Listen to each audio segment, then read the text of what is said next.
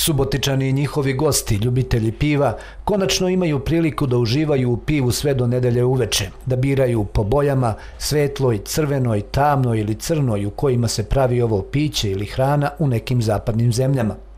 Kako god da ga tretirate, uživanja vam neće manjkati točeno, sveže, malo ili veliko, bogato vitaminima B ponajviše, ako se konzumira u umerenim količinama sa zdravstvenog aspekta je poželjno, a ako pretarate, onda vam ne gine veselje.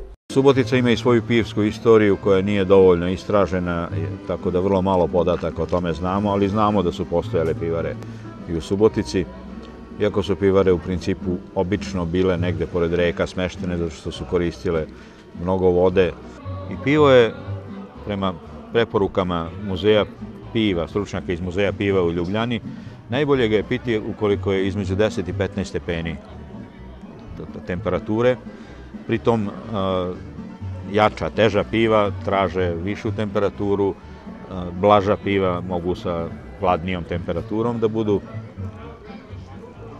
ukoliko se pije u prostoriji, onda u prostoriji ne bi trebalo da bude manje od 18 ni više od 25 stepeni, znači to je to neka granica na kojoj se to može najbolje konzumirati. Ima nešto vrlo važno što ljudi obično ne znaju. Veoma je važno pod kojim se uglom sipa pivo u čašu ili u kriglu.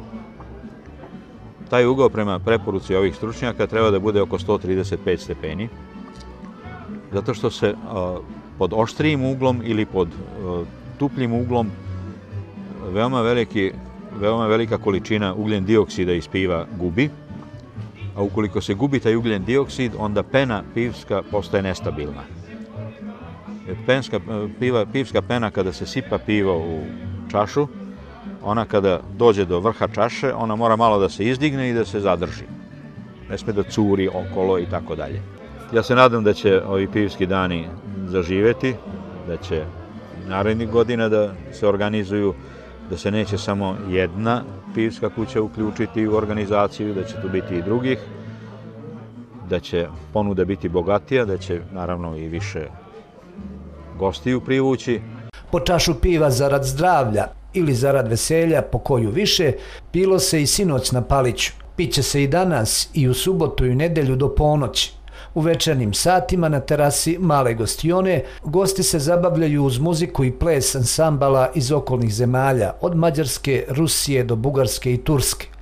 Dobra zabava, pivo uz kobasice, hrenovke, roštilj, pogačice, mekike i druge džakonije veštih majstora dobrog zalogaja male gostione, lepo vreme i ambijent paličke šume i jezera izazov su koji se ne propušta.